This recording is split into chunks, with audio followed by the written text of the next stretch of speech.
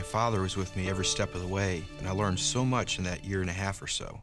You guys are a good team. And I've been helping my father grow the business. Well, we got to a point where the growth of the business was causing the value of the business to go up high enough that it was going to be very difficult for me to eventually buy out my parents. Sure. It had to be a good deal for all three parties. We put something together and it came out great. I, I think it was definitely a win-win-win.